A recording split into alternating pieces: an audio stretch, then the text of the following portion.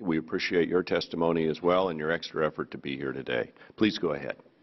Chairman Walden, Ranking Member Eshoo, and members of the subcommittee, thank you for this opportunity to discuss the importance of network neutrality rules to job creation, economic development, and innovation. I'm founder of GoLoco, an on-ride ride-sharing community, the founder of Meadow Networks, a consulting firm that advises governments about wireless applications in the transportation sector, and the founder and former CEO of Zipcar, the world's largest car-sharing company. When I received the invitation late last week to testify before this committee, I was working across the Atlantic, and later this afternoon I'll fly back. Despite the significant resources and travel times to come here, I accepted the invitation because the course of action Congress is considering, namely repealing and eliminating the authority of the FCC to enact policies that preserve an open Internet, will greatly harm our country's ability to innovate, produce jobs, and remain globally competitive and as a successful American entrepreneur, I care deeply about maintaining our leadership within the world marketplace. Eleven years ago, I co-founded Zipcar. Our innovation was to make renting a car as simple as getting cash from an ATM, and open access to the Internet was central to Zipcar's success. It is only because of the ease, speed, and zero marginal cost of finding, reserving, and unlocking a car that anyone would be willing to rent a car for an hour or to sell only an hour's car's time. Without an open internet facilitating these trans transactions, Zipcar would simply not exist. Eliminating the FCC's network's neutrality rules will put future entrepreneurs and small businesses at a significant disadvantage. Network neutrality prevents the telecommunications industry from discriminating against new applications and supports innovative new services like Zipcar. I want to draw an important parallel.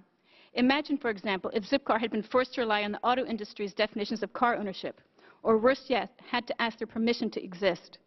Our vision of a fleet of cars being shared among a community of individuals would have been seen as implausible and threatening. Likewise, we cannot rely on the telecommunications industry to define the Internet or what people may use it for. Without consumer protections like network neutrality, these companies will define the Internet to, to mirror their preferred triple play, their telephone services, their video channels, and their notion of the ideal Internet experience and they will seek to squash any service that threatens their revenue stream, a perfect recipe for stifling innovation. This is not just mere speculation about the potential for short-sightedness, but rather personal first-hand experience. During the initial years of Zipcar, the wireless industry was simply unable to think outside the box. When we first approached cell phone companies to buy a data plan access in 2000, we were met with blank, non-responsive stares. The industry had only one vision of wireless at that time, and therefore only one product to sell. I recall many representatives not actually understanding the difference between purchasing kilobytes versus purchasing minutes. In their minds, their customers all used cell phones. Others simply did not exist. Today, innovation is the lifeblood of a competitive economy, and the Internet is its circulatory system.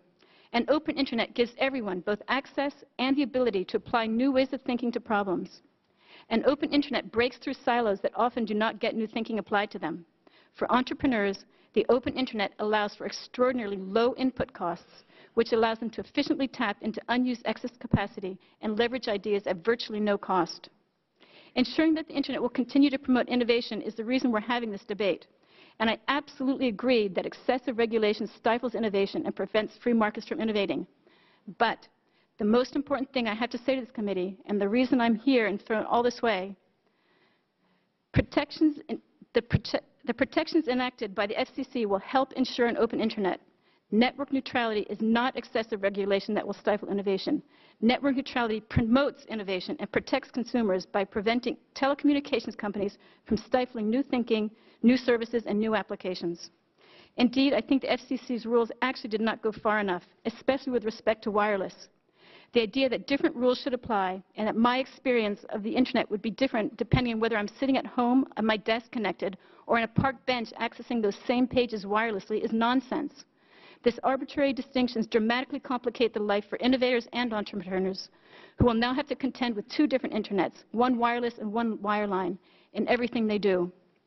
If Congress wants to truly unlock economic and job-creating potential of the internet, and fully tap into the innovation potential of our country, it should do so by improving the FCC's rule in this regard, not repealing it.